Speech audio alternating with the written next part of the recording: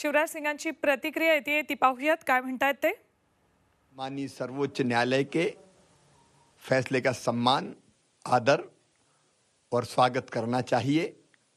किसी की हार नहीं हुई है, ये देश हम सबका है।